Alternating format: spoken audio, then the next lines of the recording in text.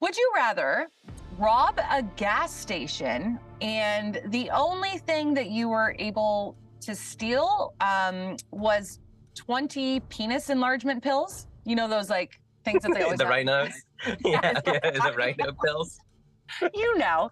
Um, Of course. so that's do. the only thing you are able to get. Um, and you take them all at once. Um, but because the, the cops were chasing you, but they actually catch you and and you get arrested. Um, and you have to go to Uh, jail okay. for a month with a swollen With dick. okay, all right.